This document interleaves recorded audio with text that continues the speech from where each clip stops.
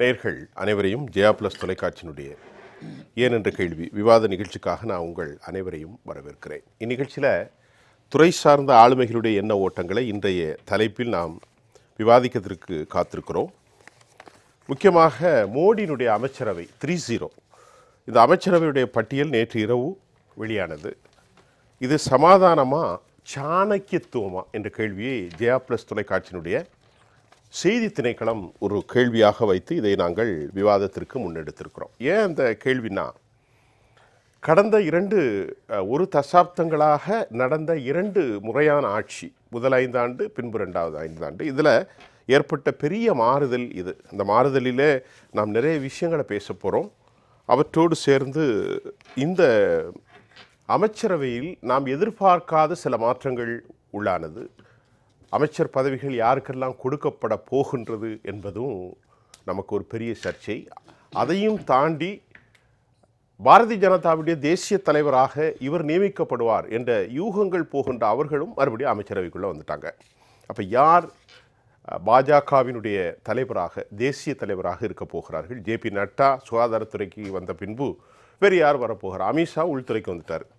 இதற்கு சில பரிந்துரைகளும் இருக்கின்றது. அதே சமயம் சந்திரபாபு நாயுடு மற்றும் நிதிஷ்குமார் சிண்டே அஜித் பவார் இப்படி பல்வேறு விஷயங்கள் சுரேஷ் கோபி வரைக்கும் சில குழப்பங்களை பதவியேற்ற அன்றே வைத்திருக்கிறார்கள்.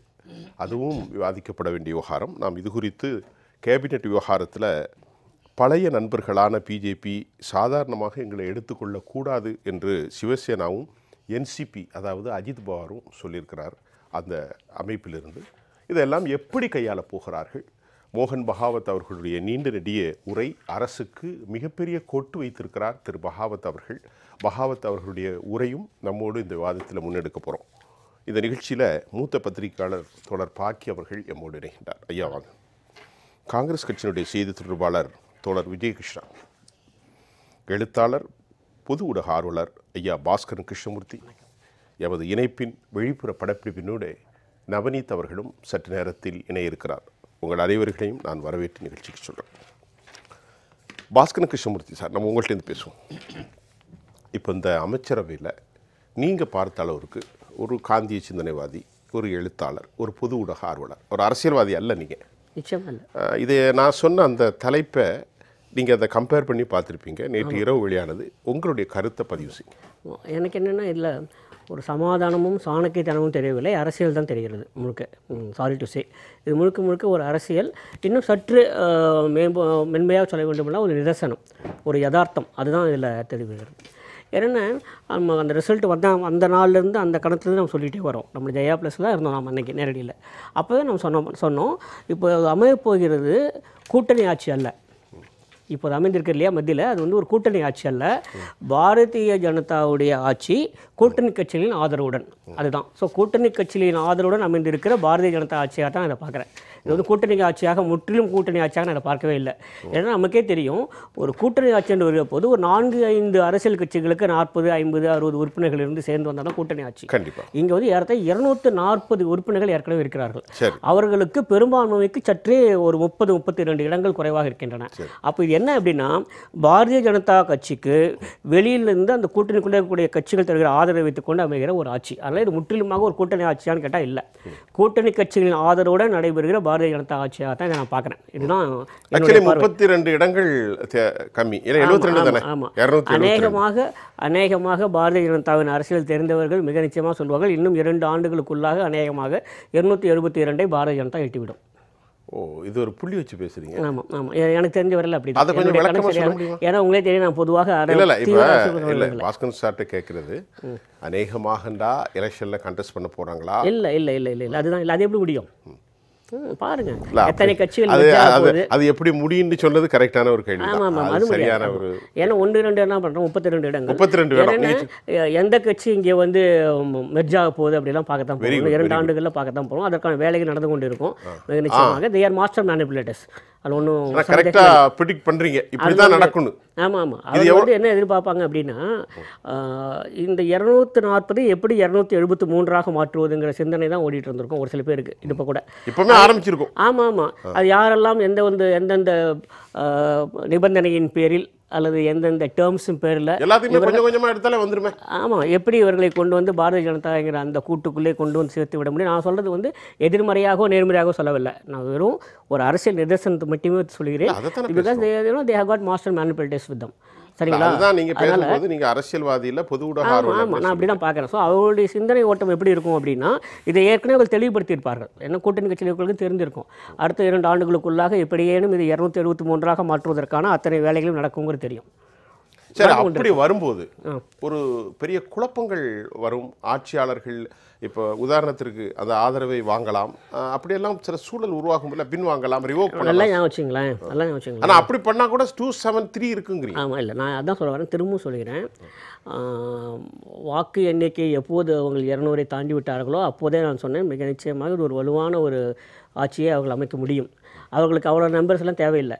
இரநூத்தி எழுபத்தி மூணுங்கிறது ஒரு நியூமெரிக்கல் நம்பர் அவ்வளோதான் அந்த மெஜாரிட்டிக்கானது அதனால் இது எப்படி கொண்டு வந்து சேர்ப்பதுங்கிறது அவங்க ஏற்கனவே முடிவு பண்ணி வச்சுருப்பாங்க. சரி கிருஷ்ணமூர்த்திகிட்ட நான் என்ன கேட்குறேன் பாஸ்கரன்ட்ட இப்போ ஐயா இப்போ என்னன்னா இது ஒரு அப்படியெல்லாம் ஒரு கடும் போக்குவாதம். ஜனநாயகத்துக்கு விரோதமாக ஆட்களை இழுப்பது ஆசை காட்டுவது அல்லது பதவிகளை கேட்பது இது அரசியலமைப்பு சட்டத்தினுடைய அடிப்படையிலும் ஜனநாயக மாண்புகளுக்கு விரோதமாக நம்ம ஒரு கற்பனையாக தான் பேசுகிறோம் குற்றச்சாட்டாக. ஆமாம் நான் கூட குற்றச்சாட்டை சொல்லலை. ஏன்னா நம்ம வாக்கு எண்ணிக்கை நடைபெறுகிற போது நம்முடைய ஜெயா ப்ளஸில் தான் அப்போ இருந்தேன் நேரலையில். அப்போ நான் சொன்னேன் வாக்கு எண்ணிக்கை இன்னும் முடியவே இல்லை. அப்போது எதிரில் இருக்கக்கூடிய அணியினுடைய மிக பொறுப்பான மிக உயரிய பொறுப்பில் இருக்கக்கூடிய தலைவர்களே என்ன சொன்னாங்க அப்படின்னா நாங்கள் சந்திரபாபு நாயுடுவுடன் சேர்ந்து கொண்டு அவர்களை இந்த பக்கம் வ- வர வைப்பதற்கு முயற்சிக்கிறோம் சொன்னாங்க இல்லையா? அப்போதே அதற்கான விதை போடப்பட்டு விட்டது. அது தவறு. ஏனென்றால் அவர்கள் அந்த கூட்டணிக்குள்ளேயே இருந்து அந்த கூட்டணியின் பெயரிலேயே மக்களை சந்தித்து அவர்கள் வந்திருக்கிறார்கள். தனியாக நின்று வரல. தனி நிக்கல. தனியாக நின்று அவங்களுக்கு ஆ- ஆதரவு கொடுக்குறாங்களா என்ற இல்லை. ஏற்கனவே கூட்டணிக்குள்ளே இருக்கிறாங்க இன்னும் கவுண்ட் டவுனே முடியல நம்ம சாரி கவுண்டிங்கே முடியல. கவுண்டிங்கே முடியாமல் நடக்கிற போது உங்கள்கிட்ட நான் சொன்னேன் இரண்டு விஷயங்கள் அப்போ சொன்னதை மீண்டும் சொல்கிறேன். சந்திரபாபு நாயுடுவும் இவரும் தொலைபேசியில் பேசினார்கள். அதனால் இவர் இந்த பக்கம் வருவார் அப்படிங்கிற போது நான் என்ன சொன்னேன்? அப்போவே நான் சொன்னது பேசியது நிஜம். ஆனால் அவர் இந்த பக்கம் வருகிறாரா அல்லது இவர் அந்த பக்கம் போகிறாரா நமக்கு எப்படி தெரியும்? அப்போவே நான் தான் சொன்னேன். சரி. அதற்கு பிறகும் ஒரு முக்கியமான தலைவர் இங்கே இருக்கக்கூடிய ஒரு மிக முக்கியமான ஒரு தலைவர் சந்திரபாபு நாயுடுவுடன் தொடர்பு கொண்டார். அஹ், கைகுலுக்கிக் கொண்டார்கள். ஒரு எதேச்சையாக நடந்த ஒரு சந்திப்பு தான். அதே மேலே ஒரு அரசியல் முக்கியத்துவம் இல்லை. அதற்கு ஒரு அரசியல் முக்கியத்துவம் தந்து அப்போதும் கேட்டாங்க சந்திரபாபு நாயுடு அந்த பக்கம் போவாரா அப்படின்னு. அப்போ நான் இதே கேள்வி தான் கேட்டேன். அதையே நீங்கள் இப்படி நினைக்கிறீங்க? சந்திரபாபு நாயுடு பக்கம் அவரே இந்த பக்கம் வரக்கூடாது? ஒரு வெற்றி பெற்ற கூட்டணி அந்த பக்கம் வந்து தோல்வி பெற்ற கூட்டணி வருவார்களா? இல்லை தோல்வி பெற்ற கூட்டணிக்கு இங்கேருந்து அங்கே செல்வார்களா அப்படின்னா அரசியல் அப்படி இருக்க முடியாது அப்படின்னு சொன்னேன். இரண்டுமே நாம் ஏற்றுக்கொள்ளவில்லை. சரி. மக்களுடைய தீர்ப்பு எப்படி இருக்கிறதோ அப்படியே தான் அரசாங்கம் நடைபெற வேண்டும்ங்கிறத நம்ம உறுதியாக இருக்கிறோம். ஆனால் அப்படி தான் நடைபெறுமா அப்படின்னா இல்லை. அதனால் இப்போ இருக்கக்கூடிய இந்த இதுக்கு முன்பு பல தசாப்தங்களுக்கும் இப்படி நடந்திருக்கு. ஆமாம் தொடர்ந்து நடைபெற்று கொண்டு இந்திய ஜனநாயகத்தில் அது ஒரு மிகப்பெரிய ஒரு இந்த பத்து ஆண்டுகள்ல பிஜேபியினுடைய ஆட்சியில இந்த ஆள் இங்கிருந்து அங்கு வருவது அங்கு போறது அதிகரிக்கும் நிறைய நடந்திருக்குல்ல. நிறைய நடந்தது. அதனால உங்களுக்கு இரண்டு பெரிய கட்சிகளுமே செய்திருக்கின்றன. ஆனாலும் கூட இந்த. மேஜிக் ஃபிகரை வந்து அவங்க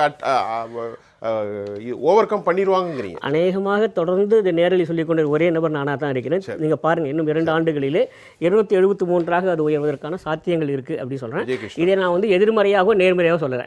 யதார்த்தமாக சொல்கிறேன் காங்கிரஸ் கட்சியினுடைய சார்பில் விஜயகிருஷ்ணா திரு பாஸ்கரன் கிருஷ்ணமூர்த்தியுடைய கருத்தை நீங்கள் எப்படி எடுக்கிறீங்கன்னு தெரியல. ஆனால் அவர் வந்து பிஜேபியும் அல்ல அரசியல் கட்சியும் அல்ல. ஆனால் கடந்த காலங்களில் பாரதிய ஜனதாவினுடைய நடவடிக்கைகளை உற்று அவதானித்து அவர்களுடைய கடும் போக்குவாதத்தை எதிர்கட்சிகளெல்லாம் எதிர்க்கட்சிகளெல்லாம் ஜனநாயகத்தை அவர்கள் காவு கொடுக்க முயற்கிறார்கள் என்று சொல்லும்போது உத்தவ் தாக்கரே ஆட்சி அமர் அஜித் பவருடைய கட்சியினுடைய பிரிவு இப்படி பல்வேறு மாநிலங்களில் பல பிரச்சனைகள் கர்நாடகாவில் கூட நடந்தது. இந்த மாதிரி விவகாரங்களை எல்லாம் அவர்கள் பார்த்துவிட்டு அவர் சொல்கிறார் இல்லை பொறுத்திருங்கள். இரநூத்தி எழுபத்தி மூன்றை அவர்கள் பெற்றுக்கொள்வார்கள். இது ஒரு எப்படிப்பா காங்கிரஸ் கட்சிக்கு இது ஒரு விதமான அச்சுறுத்தலா? அல்லது இந்தியா கூட்டணிக்கு ஒரு பயமா? இல்லை இல்லை இந்தியா கூட்டணிக்கு காங்கிரஸ் கட்சிக்கு எதுவும் இல்லை. சார் சொன்னார். சார் சொன்ன கருத்துக்களில் நான் ஒரு விஷயத்தை ஏற்றுக்கிறேன் சார் ஒரு விஷயம் சொன்னார். இந்த யார் மாஸ்டர் மேனிப்புலேட்டர்ஸ்ன்ட்டு அது ஒரு நிதர்சனமான. அது அந்த வார்த்தையை அவர் பயன்படுத்தல. நடக்கலாம். இல்லை இல்லை. மாஸ்டர் ஆஃப் மேனிப்புலேஷன்ங்கிறது கொஞ்சம் கடுமையான வார்த்தை. இல்ல, அவர் தவறான கையாளுதல்னு அவர் சொல்லல. அவர் அந்த வார்த்தையை பயன்படுத்தல. அதே சொன்னேன் நான் மாஸ்டர் மேனிபுலேட்டேஷன் தான் சொன்னேன். சொல்லிட்டீங்களா? அவர் சொன்னாரு. ஆமா ஆமா. அவர் சொன்னார் அவர் சொன்னார். சரிங்களா? அவர் சொன்னாரு. சொன்னேன், அந்த அந்த ஒரு விஷயம் அது அப்ப வெளிப்படையாவே சொல்லிட்டாரு. ஆமா. அப்ப அவர் கூட ஒன்றும் பிரச்சனை இல்லை. வெளிப்படையா சொல்லிட்டாரு. சார் அதை சொன்னாரு அது ஒரு அதை விஷயம் திருப்பி சொல்லுங்க அந்த வார்த்தையை. சார் சொன்னாரு அந்த கருத்தை நான் அந்த வார்த்தை சொல்லுங்க திருப்பி. அவர் சார் வந்து பிஜேபி அவர்களா மேன மாஸ்டர் மேனிப்புலேட்டர்ஸ்னு சொன்னாரு. மாஸ்டர் மேனிப்புலேஷன் சரிங்களா? அது அந்த ஒரு விஷயத்தை நான் ஏற்றுக்கிறேன் சரிங்களா? மற்றபடி பார்த்தீங்கன்னா இந்த கவர்மெண்ட் எப்படி கண்டினியூ ஆகுன்றது ஒரு ஒரு விஷயம் இப்போ உணர்த்துறது என்னன்னா மகாராஷ்டிராவில் போகிற பிரச்சனை. இந்த கவர்மெண்ட்டுக்கிட்ட கண்டினியூட்டி இருக்குது பட் ஸ்டெபிலிட்டி இருக்கானா ஒரு மிகப்பெரிய கொஷின் மார்க்கில் தான் இருக்குது ஏன்னா இப்போ கவர்மெண்ட் வந்து ஒரு சில நாட்கள் கூட முழுசாக நடக்கலை. அதுக்குள்ளே நீங்கள் பார்த்தீங்கன்னா அங்கே மகாராஷ்டிராவில் சின் ஷிண்டே ஃபேக்ஷனாக இருக்கட்டும் இல்லை அஜய் அஜித் பவர் ஃபேக்ஷனாக இருக்கட்டும் இவங்க இது எல்லாமே ஒரு டேர்ம் ஆயிலுக்குள்ளே போயிட்டாங்க இப்போது இது என்னென்னு ஒரு மிக முக்கியமான விஷயம் என்னென்னா பாஜக வந்து என்றைக்குமே அதுவும் குறிப்பாக பாஜக இல்லைனாலும் பிரதமர் அவர்கள் என்றைக்குமே ஒரு டீம் பிளேயராக இருந்தது கிடையாது. அவங்க எப்போவுமே இந்த தனி தனியாக இந்த சிங்கிள் மேனாக தன்னை மட்டுமே ப்ரொஜெக்ட் பண்ணிக்கிறதுல இருந்தவங்க இவங்க. இவங்க தன்னை மட்டுமே தன்னை மட்டுமே வெளிப்படையாக காட்டிக்கிட்டு இந்த அனைவரும் அ- அர அரவணைச்சி செல்வதுன்ற ஒரு கோட்பாட்டுக்குள்ளே என்றைக்குமே நம்பிக்கை இல்லாதவங்க. இது எ- என்ன ஆகும்னா இந்த ஸ்டெபிலிட்டி எப்படி இருக்கும்னு நம்மளுக்கு தெரியாது. சரிங்களா? இந்த நம்பர்ஸ் இன்க்ரீஸ் ஆகுன்றத மீ அந்த அந்த ஆஸ்பெக்டுக்குள்ளே போகாமல் முதல்ல இந்த நம்பர்ஸ் டிக்ரீஸ் ஆகாமல் இருக்குமான்ற ஒரு விஷயத்த நம்ம இருக்கு. இப்போ- அவர் என்ன சொல்றது? இப்போ நீங்க வந்து டிகிரிஸ்னா டூ இருந்து குறையுது. இல்லை நான் என்டிஏவோட அலைஸ் நம்பர்லேருந்து நான் சொல்கிறேன். சரிங்களா? ஏன்னா இப்போ இந்த என்டிஏடைய அலைன்ஸ் சரிங்களா? மொ- இந்த நம்பர்ஸ் டூ நைன்டி த்ரீ இருக்காங்களா? இதுலேருந்து குறை இதுலேருந்து குறையாம இருக்க கா கா காப்பாற்றுறதே அவங்களுக்கு ஒரு மிகப்பெரிய டாஸ்காக இருக்கும். ஏன்னா இந்த இந்த வெற்றி எப்படிப்பட்ட வெற்றி? நான் உங்களுக்கு பார்த்தீங்கன்னா ஒரு தோல்விகரமான வெற்றி. இன்னும் ப்ரிசைஸாக போனால் ஒரு சபிக்கப்பட்ட வெற்றின்னு கூட சொல்லலாம். ஏன்னா இவங்களுக்கு ஒரு மிக மிக முக்கியமான ஒரு மூணு பிரச்சனை இருக்குது இந்த வாட்டி. ஒன்று ரொம்ப ஸ்ட்ராங்கான ஆப்போசிஷன் இவங்க என்றைக்குமே பார்க்காத ஒரு விஷயம் என்னன்னா ரொம்ப ஸ்ட்ராங்கான ஆப்போசிஷன் ஒன்று இருக்குது இன்னொன்றுனா அவங்க அலைஸு அவங்க கூட்டணி கட்சிகள். கூட்டணி. கட்சிகளுக்குள்ள என்ன பிரச்சனைனா சித்தாந்தம் ஒரு மிகப்பெரிய பிரச்சனை. ஏன்னா கூட்டணிக்குள்ள உள்ள சித்தாந்த வேறுபாடு இருக்குதுன்றது வேற. ஆனால் சித்தாந்த முரண்பாடுகள்ன்றது வேற. எல்லா கூட்டணிக்குள்ளேயும் எல்லா பொலிட்டிக்கல் பார்ட்டிஸ்க்கும் ஐடியாலஜிக்கல் வேரியேஷன்ஸ் இருக்கும். ஆனால் ஐடியாலஜிக்கல் கான்ட்ரடிக்ஷன்ஸ்ன்றது வேற. அதற்கான ஒரு சி எக்ஸாம்பிள்ஸே தான் என்னன்னு பார்த்தீங்கன்னா இந்த எலெக்ஷன் டைம்ஸில் பிஜேபியோ இல்லை பிரதமரோ வச்ச நரேட்டிவ்ஸ் என்னென்னா முஸ்லீம்ஸை பற்றி முஸ்லீம்ஸுக்கு தனியாக பட்ஜெட் கொடுத்துருவாங்க. அந்த மதவாதி ம மத ரீதியான ரிசர்வேஷன் கொடுப்பாங்கன்ற ஒரு இல்லாத தவறான கருத்துக்கள்லாம் வச்சாங்க. இன்றைக்கி டிடிபியை சேர்ந்த திரு நரா லோகேஷ் அவர்கள் என்ன சொல்கிறாரு நாங்கள் முஸ்லீம்க்கு கொடுக்குற ரிசர்வேஷன் வந்து it's not a appeasement it's the social ஜஸ்டிஸ்ன்றாரு நீங்கள் இப்போ அவங்க கருத்தை ஏற்றுக்கொள்கிறீங்களா இல்லைனா அவங்க கரு கருத்தை நீங்கள் எதிர்த்து ஸ்டேட்மெண்ட் விடுவீங்களா இப்போது இந்த மாதிரி அதே மாதிரி நீங்கள் இந்த இவ இவங்களோட டிஃபென்ஸு அக்னிபத் அக்னிபத் ஸ்கீமை வந்து ஒரு மிகப்பெரிய லெவலில் அமைச்சர் ராஜ்நாத் சிங்கு ரொம்ப மிகப்பெரிய திட்டம்ல அவங்க ரொம்ப அவங்களே அவங்கள ரொம்ப புகழ்ந்து தற்புகழ்ச்சியில் இருந்தாங்க. இன்றைக்கி சிராக் பஸ்வானாக இருக்கட்டும் இல்லை கேசி தியாகியாக இருக்கட்டும் இவங்க எல்லாருமே வந்து இன்னைக்கு அந்த கிளாஸ் பை கிளாஸ் அந்த அந்த இதை ரிவ்யூ பண்ணணும்னு சொல்கிறாங்க அந்த அக்னிபத் சிஸ்டத்தை. இன்னைக்கு நீங்களும் அதுக்கான நெருக்கடிக்கு தள்ளப்பட்டிருக்கீங்க.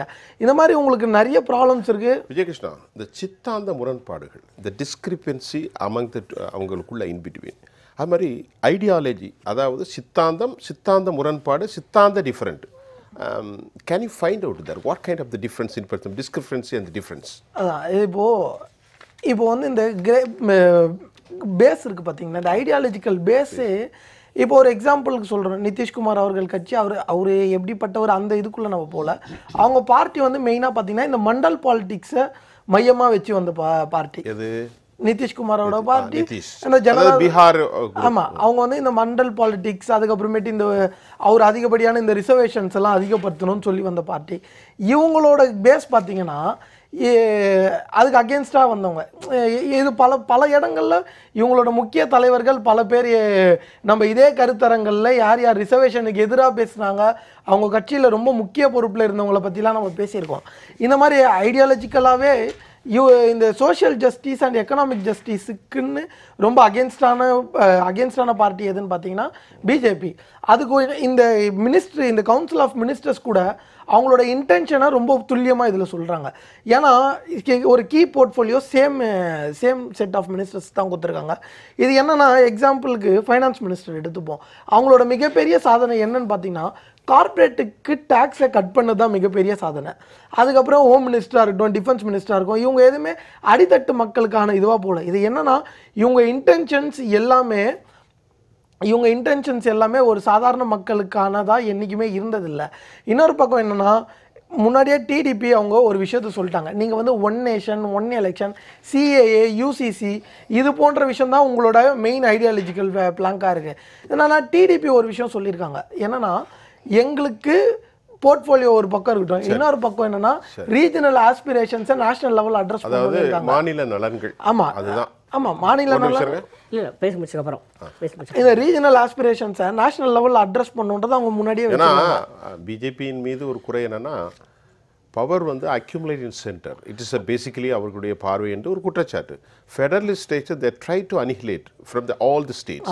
அப்படி இருக்கும்போது நீங்க ரீஜனல் ஆஸ்பிரேஷனுங்கிறது போது இட்ஸ் ஹவு இட்ஸ் டிஃபர் அதுதான் நான் சொல்ல அதுதான் ஐடியாலஜிக்கல் கான்ட்ராடிக்ஷன் நான் சொல்றேன். இவங்களுக்கு இதைத்தான். இதுதான் ஐடியாலஜிக்கல் கான்ட்ராடிக்ஷன் இப்போ ஏன்னா ஒரு ஒரு பார்ட்டி ஐடியாலஜிக்கல்குள்ள போனா அது ரொம்ப டீப்பான இதா ஸோ போயிடும் இது வந்து. சித்தாந்தம் என்பது அதிகாரத்துவ சித்தாந்தம் இருக்கிறது. செக்யூலரா அல்லது ஹார்ட் கோர் இந்துத்துவங்கிற சித்தாந்தம் இருக்கிறது. அது அப்படிதான் நீங்க டிஸ்கிரிபன்சி டிஃபரன்ட் டி- டிஃப்- I good under okay okay ஒரே ஒரு சின்ன ஒரே ஒரே ஒரு நிமிஷம் அடிமட்டத்தில் ஒன்று என்னென்னா இந்த தமிழ்நாட்டில் ஒரே அணியாக இருந்து கொண்டு கேரளாவில் இரண்டு அணியாக பிரிந்து மேற்கு வங்காளத்தில் மூன்று அணியாக மாறி திரும்பவும் பஞ்சாபில் இரண்டு அணியாக வந்து தில்லியிலே ஒரே அணியாக கூடுகிறது இல்லையா? ஆறுகள் மாதிரி. இதுவும் ஒரு மேனிப்புலேட்டிவ் பாலிடிக்ஸ் தான். இது மேனிப்புலேஷன் இதுவும் மேனிப்புலேட்டிவ் பாலிடிக்ஸ் தான். மீண்டும் சொல்லிக்கிறேன் மேனிப்புலேஷனுங்கிற நான் சொன்ன வார்த்தை இல்லை. பொலிட்டிக்கல் சயின்ஸில் பாலிடிக்ஸ் பற்றி டெஃபினேஷன் சொல்லும்போது என்ன சொல்லுவாங்கன்னா politics is a game of manipulation so it has to take the multivision அதாவது இந்த மேனுப்புலேஷன்ங்கிற வார்த்தைக்கு பலவித அர்த்தங்களை எடுத்துக்கொள்ளலாம். ஆமா தமக்கு ஆதாரமாக ஒன்றை மாற்றிக்கொள்வது அதுதான். சதக்கு சாதகமாக எடுத்துக்கணும் அதுக்காக எல்லாமே மோசமான வார்த்தைன்னு எடுக்க முடியாது. ஆமா, ஆனா அது தனக்கு. அது கூட்டணி அமைப்பதிலேயே எடுத்துக்கிடலாம். பாருங்களேன் இப்படி தான் அப்போ இதுவும் வந்து ஒரு மேனிப்புலேட்டிவ் பாலிடிக்ஸ் தான். உலகம் முழுக்க எல்லா ஜனநாயக நாடுகளிலும் மேனிப்புலேட்டிவ் பாலிடிக்ஸ் நடந்து கொண்டிருக்கிறது. இல்ல ஒரு கிளாரிஃபிகேஷன் ஸ்டார்டிங்லேயே சொல்லிட்டாங்க. இந்தியா அலைன்ஸ் வந்து ஒரு நேஷனல் லெவல் அலைன்ஸ் ஸ்டேட் லெவலில் ஸ்ட்ராட்டஜிஸ்க்கு ஏற்ற மாதிரி மாறும். அதனால அது ரொம்ப பெருசா எடுத்துக்க வேண்டிய இதுவும் கிடையாது. பாக்கிட்ட நாம சில விஷயங்களை பேசுவோம். பாக்கி சார் இப்போ நாம இந்த தலைப்பே பேசலாம். இந்த அமைச்சரவையை அமைச்சிட்டாங்க. இதற்குள்ள எதிர்பார்த்த அமைச்சரவை யாருக்கெல்லாம் கொடுக்கப்படுங்கிறத தாண்டி முக்கியமான சிலர் வந்திருக்கிறாங்க. மனோஜ்லால் கட்டார் உள்ள வந்துட்டார். ஜேபி நட்டா உள்ள வந்திருக்கிறார் முக்கியமா. ஆம், இருப்பது ஆ? சிவராஜ் சிங் சவுகான் உள்ள வந்திருக்கிறாங்க. இவங்க முதன்முறையாக. இந்த மூன்று பேருக்குமே ஆர்எஸ்எஸ்னுடைய முழு பெரும் ஆசீர்வாதம் உண்டு அப்படிங்கெல்லாம் வரக்கூடிய பத்திரிகை கட்டுரை நாங்கள் பேசுகிறோம் அமித்ஷா அங்கே போவார் அவர் மறுபடியும் உள்துறை. அம்மையார் நிர்மலா அம்மா மறுபடியும் இது டிஃபென்ஸ் அதே மாதிரி ஜெய்சங்கர் எக்ஸ்டர்னல் அஃபேரன்ஸு எல்லாமே வந்திருக்கிறாங்க. நம்ம சுரேஷ் கோபி எப்படிடா மினிஸ்டர் வேணான்னு சொல்லுவார் அப்படின்னு பார்த்தா நான் அந்த மாதிரி சொல்லலை தப்பாக போட்டாங்க அப்படின்னு சொல்லிட்டார். அவருக்கு கேபினெட்டுக்கு ஒரு ஆசை போல் தெரியுது. கேபினெட்டு கொடுக்கலங்கிறது இப்போ இதெல்லாம் சொல்லுங்கள் இதில் என்ன நன்மைகள் அவர்களுக்கு விளையப் போகிறது? அல்லது சிண்டே ஃபேக்டர்ஸ் அஜித் பவார் இவர்களெல்லாம் இப்படி பேசுவது ஒரு டிசன்ஸ்டிவேஷன் புரந்தேஸ்வரியை கொண்டு வர போகிறாங்க ஸ்பீக்கராக இல்லை இவங்க ரொம்ப டிமாண்ட் பண்ணுறாங்க இதெல்லாம் கலெக்டிவாக இந்த எப்படி நடக்க போகுது? சொல்லுங்கள் நீங்கள் கேட்ட கேள்விக்கு எல்லோரையும் திருப்திப்படுத்தக்கூடிய வகையில் தான் அமைச்சரவை இருக்கிறது இருக்கும் இருக்க போகிறது. இருக்க மாற்றம் கிடையாது. இது ஒரே வரியில் உங்கள் கேள்விக்கு நான் விடை. முன்னாடி நீங்கள் உங்கள் தலைப்பு வந்து இது சாணக்கியத்துவம். சாணக்கியத்தனமா சமாதானமா. சமாதானமா என்கிறீர்கள். சாதுரியம். இதுதான் என்னோட பதில். சத்துரியம் சாதுரியமானது. ஒரு சின்ன யோசனையோடு தொடங்குகிறேன். அதாவது பல பேர் கேள்விக்குறி எழுப்புகிறார்கள். சில பேர் ஆச்சரியக்குறி எழுப்புகிறார்கள். கேள்விக்குறி நான் இந்த ஆட்சி எவ்வளோ காலம் நீடிக்கும்? இப்போ அஜித் பவார் அணியும் ஷிண்டே அணியும் முரண்டு பிடிக்கிறாங்க. அதாவது கேபினட் அந்தஸ்து தரணும்னு சொன்னாங்க. கூட்டணி கட்சிகளை நீண்டகால நண்பர்களை மதிக்கணும் அப்படின்லாம் சொல்கிறாங்களே இது எங்கே போய் முடியுமோ? எவ்வளவு காலம் இருக்குமோ? இந்த கேள்விக்குறி. அந்த கேள்விக்கு சரி விடை நீடிக்கும். ஏனென்றால் இது முந்தைய ஆட்சியின் நீட்சி. பெரும்பாலான கேபினட் மினிஸ்டர்ஸ்க்கெல்லாம் ஏற்கனவே வகித்த முக்கியமான பொறுப்புகள் ஒன்று. இது கேள்விக்குறி. ஆச்சரியக்குறியில் ஒன்றும் பெரிய ஆச்சரியப்படுறதுக்கு இல்லை. எல்லாரும் எதிர்பார்த்தாங்க. டிடிபி தெலுங்கு தேசம் சந்திரபாபு நாயுடுடைய கட்சியும் நிதிஷ்குமாரோடைய ஐக்கிய ஜனதாதள் கட்சியும் எந்த நேரத்தில் அந்த பக்கம் போயிடும். போகாது. கூட்டணி தேர் தே களத்தை தே- தேர்தல் களத்தை சந்தித்த போதே கூட்டணியாகத்தான் இருந்து சந்தித்தாங்க. விபி சிங் ஆட்சி காலம் என்பது வேறு. விபி சிங்கில் ஜனதாதளத்துக்கு ஆதரவு கொடுக்கல பிஜேபி கூட்டணியாக இல்லை. தனியாக தான் போட்டியிட்டாங்க. அப்போ க கணிசமான இடங்களை பெற்ற பிறகு போஸ்ட் போல் அலையன்ஸ் மாதிரி ஆதரவு எக்ஸ்டெண்ட் பண்ணாங்க. ஆதரவு கொடுத்துக்கும் போதே தான் பல்வேறு நிலைமைகள் அப்படி நித்தியகண்டம் பூர்ண பூர்ணாய்ச்சி சொல்லுமே அது நிலைக்கும். ஆகையினால கேள்விக்குறியாச்சு. ஆச்சரியக்குறியாச்சு. இதுக்கு கவலையே வேண்டாம். அந்த ஆச்சரியம் வேண்டாம். மு ஆச்சரியக்குறிக்கிறது என்ன தெரியுமா விஷயம்? நிதிஷ்குமார் இது இவங்களும் ந- சந்திரபாபு என்ன பண்ணுவாங்களோ அப்படின்னாங்க. அந்த ஆச்சரியத்துக்கே முற்றுப்புள்ளி வச்சாச்சு. அவங்க ஃபுல் எக்ஸ்டென்ஷன் சப்போர்ட் கொடுக்க ஆரம்பிச்சிருக்காங்க. இப்போ கேள்வி வருது. இப்போ நான் வரேன். ஆ சொல்லுங்கள் இப்போ என்ன கேள்வி வருதுன்னா இந்த எலெக்ஷனில் மோடியுடைய பேச்சு உலகம் முழுவதும் வேறு விதமான பார்வையில் வந்தது. நேரடியாக இடைநிலை தலைவர்களை தாண்டி மோடியே ஒரு மதவெறுப்பை பேசினார் என்கிறது ரெஜிஸ்டர் ஆயிட்டு இப்போ அவர்களுக்குள்ள பலவிதமான கோர் ஐடியாலஜி மட்டும் இல்லாமல் பிளான் இருக்கு. இப்போ த்ரீ செவன்ட்டி ஓபரிகேஷன் எடுத்துக்கிடுங்க. கண்டிப்பாக அதுக்கு ஸ்டேட்ஸுக்கு ப்ரிவிலேஜஸ் கிடையாது. ஆர்எஸ்எஸ்ஐ பொறுத்தவரை பிஜேபி பொறுத்தவரை. இப்போ இவங்க கேட்குறாங்க ரெண்டு பேரும். யார்? எங்கள் ஸ்டேட்டுக்கு தனி அந்தஸ்து கொடுங்க. சிறப்பு அந்தஸ்து. ஆ, இல்லை சிறப்பு அந்தஸ்து நம்ம அதை மொத்தத்தில் அந்த ஆர்டிக்கலை கோட் பண்ணாமே சொல்கிறேன் அதிக நிதி கேட்குறாங்க அப்புறமா சில விஷயங்களில் யூசிசி போன்ற விவகாரங்கள் வரப்போகின்றது. விவாதங்கள் இல்லாமல் இப்போ பலவிதமான சட்டங்களும் கூட வந்திருக்கிறது. அந்த சட்டங்கள் பெயர்கள்லாம் இருக்குது அதை நம்ம லைட்டாக சொல்கிறேன் இப்போ அவங்க ஏற்கனவே நான் வந்தவொடனே அடுத்த சட்டத்தை கொண்டு வர போகிறேன்னு வேற சொல்லியிருக்கிறாங்க. இந்த விஷயங்கள்லாம் போக போக போக பெரிய கருத்து வேறுபாடு வருவதற்கான சாதகம் இல்லைன்னு நீங்கள் மறுக்க முடியாது. நீங்க ஏன்னா அவங்க எடுத்த உடனே it's not appeasement it is one of the part of social justice and according to TDP statement very clear அதனால இப்போ கேட்குறேன் இது வந்து social justice it's not a appeasement இப்போ இன்று இரவு நான் வீட்டுக்கு போனோன்னே என் மனைவியோ குடும்பத்தில் எங்கள் அம்மாவோ எனக்கு என்ன பிடிச்சதோ அதை மட்டும் தான் தயார் பண்ணி கொடுப்பாங்க. நம்ம நண்பர்கள்லாம் நாலு பேர் உங்களெல்லாம் கூட்டு போனோம்னு வச்சுங்களேன் சுஃபியானுக்கு என்ன பிடிக்கும்? விஜய் கிருஷ்ணாக்கு என்ன பிடிக்கும்? பாஸ்கர் கிருஷ்ணமூர்த்திக்கு என்ன பிடிக்கும் என்றெல்லாம் யோசித்து அம்மா இதெல்லாம் ப்ரிப்பேர் பண்ணுங்க. என் ஃப்ரெண்ட்ஸ் எல்லாம் வராங்க ஸோ இது எந்த இது உதாரணத்துக்கு எதுக்கு சொல்கிறேன்னா தனித்து ஆட்சி செய்யும்போது தான் அயோத்தி நிறைவேற்றிட்டாங்க.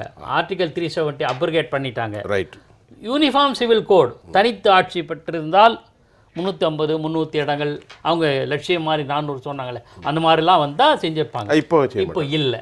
நண்பர்களோடு இருக்கும்போது நண்பர்களுக்கு என்ன பிடிக்குமோ அதைத்தான் செய்வார்கள். ஆனால் இப்போ அதுதான் கேட்குறேன் அதை தான் கேட்குறேன் அப்படி இருக்கிற பட்சத்தில் பாஜகவின் கோர் ஐடியாலஜி நிறுத்தி வைக்கப்படும்.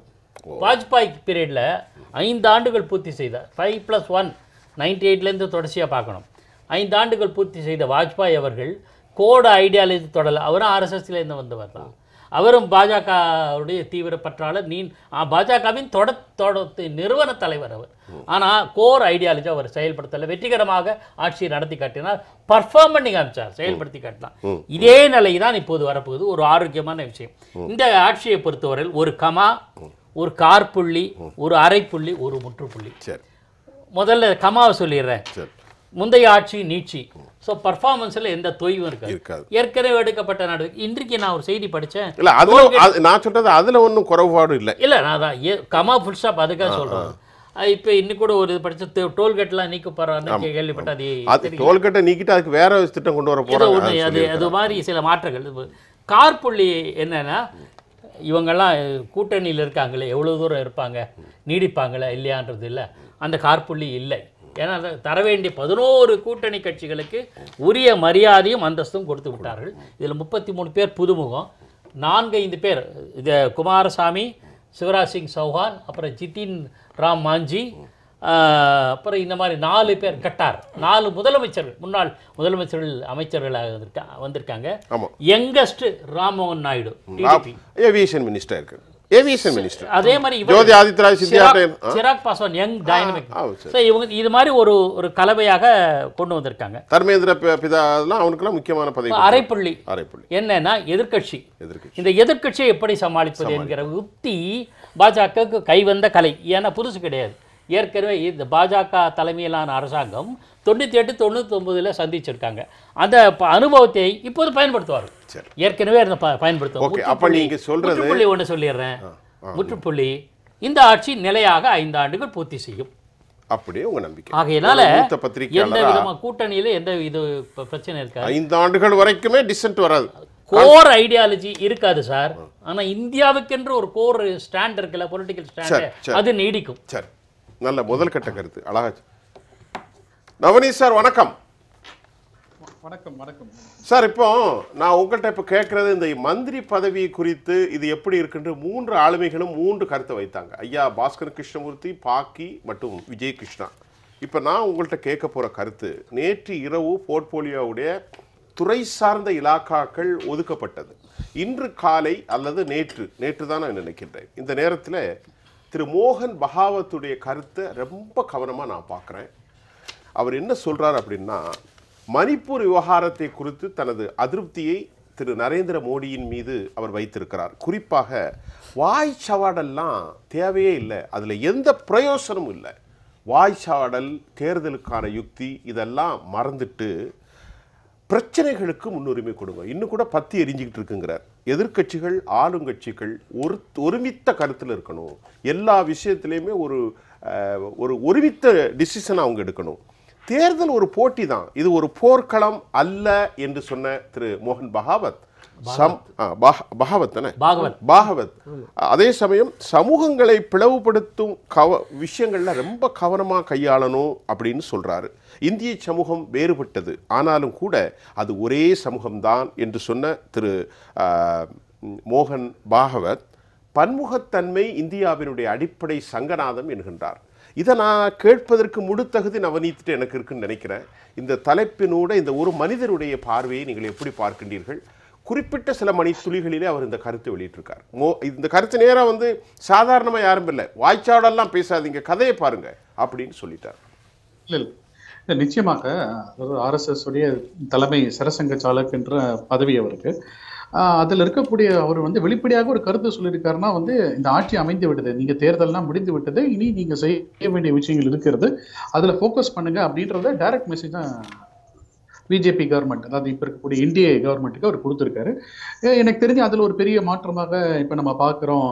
மாத ஆதி ஜோதிர் ஆதித்ய சிந்தியா வந்து வடகிழக்கு மாநிலத்துடைய ஒரு அமைச்சராக போட்டிருக்க ஒரு இளைஞர் அவர். ஸோ அவர் அந்த களத்தில் போய் பார்த்து விட்டு அதற்கான முன்னெடுப்புகள் அந்த களப்பணிகளை தொடங்குவார் அப்படின்ற ஒரு நம்பிக்கை இருக்கு. ஏன்னா இப்போ வந்து பதவியேற்ற பதவியேற்று இப்போ ஜஸ்ட் என்ன கிட்டத்தட்ட நாற்பத்தெட்டு மணிக்கூறுகள் தான் ஆகிறது அதற்குள் மோகன் பகவத்துடைய கருத்துன்றது வந்து வரவேற்கத்தக்க கருத்து. அவர் வெளிப்படையாக சொல்லியிருக்கிறார்.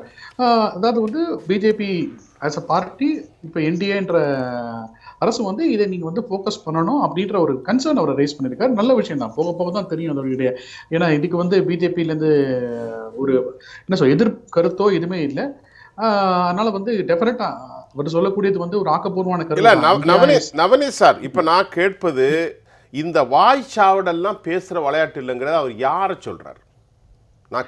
யாரை இந்த? வாய்ச்சாவடல் இந்த வாய்ச்சாவடல் பேச்செல்லாம் பேசாதீங்கிற மட்டும் இல்ல திரு நவனீத் அடுத்த ஒரு கருத்தை சொல்றாங்க. உண்மையான ஒரு சுயம் சேவக் ஒரு சேவகன் எந்த நேரத்திலும் ஆணவமா பேச மாட்டான் கௌரவமா தன்னை காட்டிக்கிட மாட்டான் பிறரை புண்படுத்த மாட்டான் என்று வலிமையான கருத்தை திரு பகாவத் அவர்கள் வைக்கிறார். இதான் முக்கியம். யார சொல்றாரு? ஆணவத்தை யார சொல்றாரு? பிறரை புண்படுத்த மாட்டான் யார சொல்றாரு? வாய் சடாவல் யார்கிட்ட சொல்றாரு? சொல்லுங்க. இல்ல ஒரு விஷயம். வாய் சவடால் அப்படின்றது ஒரு பொதுவான கருத்து. எதிர்கட்சி எதிரில் இருக்கக்கூடிய அரசியல் கட்சிகள் கூட பண்றாங்க. சரி. ஆளும் கட்சிகளும் பண்றாங்க. அதுக்குள்ள நான் போக வரும்ல. பட் இன்னொரு அடிப்படையான விஷயம் என்னன்னா வந்து ஆர்எஸ்எஸ் அமைப்பிலிருந்து ஒருவர் வெளியேறி விட்டு அரசியலில் சேர்ந்து விட்டார் என்றால் அவருக்கு அந்த சரசங்க சாலக்கோ பிரச்சாரக்கோ என்ற பேர் கிடையாது. அவர் ஒரு அரசியல்வாதி அவ்வளவுதான். நீங்க ஆர்எஸ்எஸ்ஸில் இருக்கும் வரைதான் நீங்கள் பிரச்சாரக் ஆர்எஸ்எஸ் வெளியே வந்து விட்டால் நீங்கள் வந்து பிரச்சாரக் இல்லை. அவர் ஆர்எஸ்எஸ் ஏன்னா ஆர்எஸ்எஸ்ல ஒரு பொறுப்பு கிடையாது. நீங்க அரசியலில் வந்தாச்சு நீங்க. ஆர்எஸ்எஸ்ல எந்த ஒரு பொறுப்பும் கிடையாது. RSS is different independent organisation so அதனால வந்து அவ ஆர்எஸ்எஸ்ல இருக்கக்கூடிய பிரச்சாரகர்களில் சுயம் சேவகர்கள்லாம் இப்படி இருக்கணும் அப்படின்றத அந்த அதாவது என்ன சொல்ல ஆர்எஸ்எஸ் உடைய பிரச்சாரர்களுக்கும் சுயம் சேவர்களுக்கும் அவர் கூறிய ஒரு என்ன என்ன சொல்ல ஒரு அட்வைஸாக தான் நான் பார்க்குறேன் வந்து அரசியலில் வந்து பிஜேபிக்கு என்று எடுத்து சொல்ல முடியாது. ஏன்னா இன்னைக்கு சிவசேனா கட்சியில் கூட பல ஆர்எஸ்எஸ் வந்து சேர்ந்த வர்கள் அவர்கள் இருக்கிறார்கள். இங்கே தமிழ்நாட்டில் இருக்கிறார்கள். பல பேர் பல அதாவது இந்துத்துவ சிந்தனை கொண்ட பல பேர் ஆர்எஸ்எஸ் இருந்து வெளியேறி மற்ற மாற்று கட்சிகளில் இருக்காங்க. அவர்கள் அப்போ நீங்கள் சுயம் சேவகர்கள் என்று சொல்லலாம் இல்லை பிரச்சாரகர்கள் என்று கூட சொல்லலாம். பட் அவங்க வந்து ஆர்எஸ்எஸ் அது வந்து அவர்களை ஏற்கவில்லை. ஏன்னா வந்து அவர்கள் அரசியலுக்கு போய்விட்டதால் அவர்கள் அரசியல்வாதிகளாக தான் ஆர்எஸ்எஸ் பார்க்கிறது. இதுதான் நான் புரிந்து கொண்டவரை ஆர்எஸ்எஸ் அப்ப நவனீத் சார் இப்போ ஐயா பகாவத் அவர்கள் மோகன் பகாவத் அவர்கள் இதுல மோடியை பத்தி சொல்லல. அப்போ மணிப்பூரில் அமைதி ஏற்படுத்தக்கூடிய பொறுப்பில் யார் இருக்கிறா? அதை சொல்லுங்க முதல்ல. மணிப்பூர்ல. மத்திய அரசுக்கான மெசேஜ். நீங்க சொல்லக்கூடிய பிரச்சாரக் சரசங்க சுயம் சேவகர்கள் எல்லாம் வந்து மோடி இருந்திருக்கிறார். மோடி இப்ப சுயம் சேவகர் என்று அவரை வந்து அவர் சொல்ல முடியாது. இப்ப வந்து அவர் நாட்டின் பிரதமர். இல்ல, இல்ல. என்ன சொல்ல முடியாது. நவனீத் சார் நான் சொல்றத கவனிங்க. இப்போ அவரு ஆர்எஸ்எஸ்ஸா இல்ல பொலிட்டீஷியனாங்கிறத நான் கேட்கல இப்போ பகாவத் அவர்களுடைய கருத்து மணிப்பூரில் அமைதி ஏற்படுத்தக்கூடிய தலைமையும் அதிகாரமும் பொறுப்பும் யாருக்கு இருக்குன்னு தான் கேட்கறேன் சொல்லுங்க.